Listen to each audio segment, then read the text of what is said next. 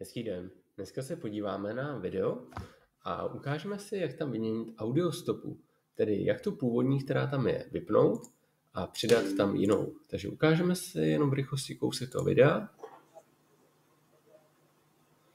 Nevím, jestli to slyšíte, je tam slyšet motor auta, nějaká stavba a tak dále.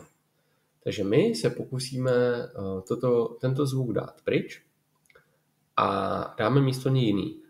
Takže a mezi tím si ukážeme ještě jeden tip, jak třeba vystříhnout pouze kousek zvuku. Takže první, co potřebujeme, že video máme přidané již na naší časové ose, klikneme na to pravý, dáme More a dáme Detach Audio. Tím se nám audio oddělilo do samostatné stopy.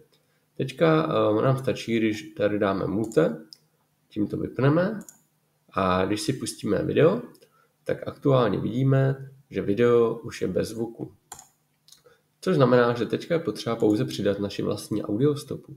To uděláme tak, že klikneme pravým tlačítkem, dáme Track Operations a Add Audio Track, neboli Ctrl U. Tak tady se nám vytvořila nová audiostopa a do té audiostopy my si přeneseme z našeho počítače hudbu, kterou tam chceme dát a samozřejmě si takhle zarovnáme. Pokud byste tento zvuk uh, nechtěli jenom vypínat, ale úplně chtěli smazat, samozřejmě ho můžete deletem odstranit, není žádný problém. Tak, teďka půjdeme na začátek a pustíme to.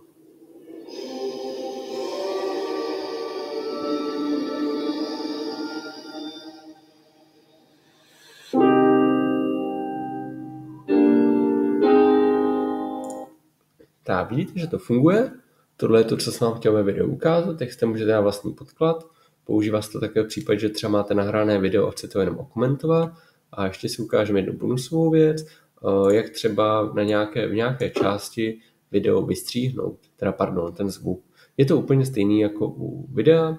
Klikneme si zde, dáme split at playhead a najdeme si třeba sem. Tady taky. A tady tu prostřední část teďka můžeme odstranit. Když si to pustíme nyní, tak tady nám to vyplo a tady to pokračuje dál.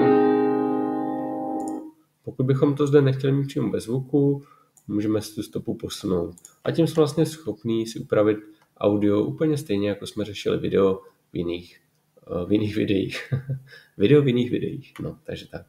Eh, doufám, že to bylo jasné. Kdybyste měli nějaký dotaz, napište mi do komentářů. Budu rád za like a odběr, protože všechno videa točím zadarmo a budu se těšit u nějakého dalšího tutoriálu. Mějte se hezky, nashledanou.